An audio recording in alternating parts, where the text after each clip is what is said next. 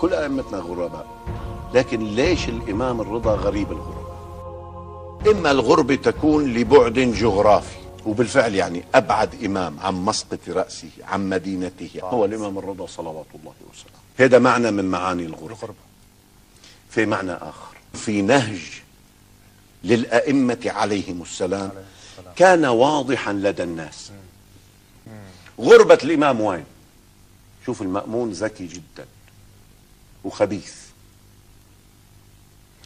أراد أن يضرب الخط خط الامي إنه أنتم اللي عم تحكوا ما بدكم سلطة هاي جبت لكم إمامكم وليا للعهد.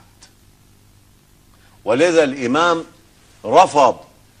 لما اجى الرسول إلى المدينة قال ما بدي قال أمرني إن لم ترضى أن أضرب عنقك. شو أضرب؟ قال أما هذه لا ما بمكنك من نفسي.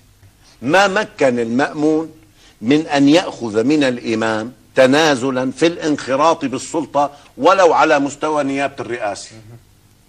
إلى الآن تجد المؤرخين يظلمون الإمام. إنه قبل لا ما قبل لا كيف قبل إذا كان عنده طموح للسلطة إذا كان كذا إذا هنا غربة الإمام سلام الله. هذه غربة. هذه غربة حقيقية. إلى الآن يعاني منها الإمام. كل أئمتنا غرباء. لكن ليش الإمام الرضا غريب الغرباء